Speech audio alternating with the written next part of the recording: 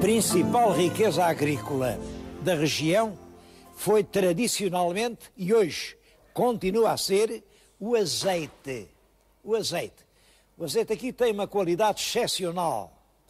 Há até um ditado popular, quando uma pessoa é muito esperta, muito esperta, diz: tipo, é tão fino como o azeite de moura.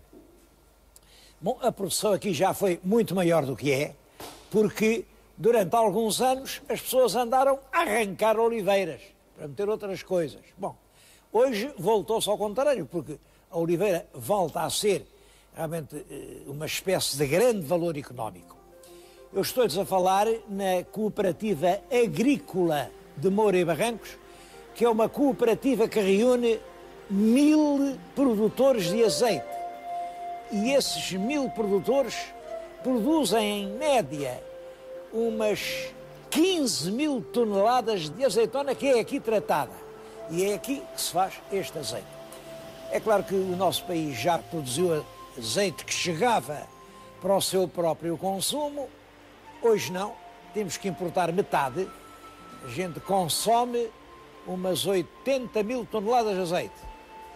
Bom, e só produz umas 40 mil.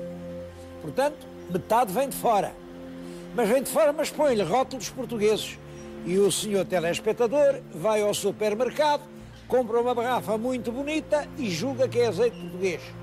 Pode perfeitamente não ser. A única maneira de ter a certeza de que é, é verificar que tem a designação de origem, seja de alguma das regiões portuguesas demarcadas. Bom, uma delas é a de Moura, há outras, mas só esse é que há a certeza de ser português. E se for português, podem crer, é melhor.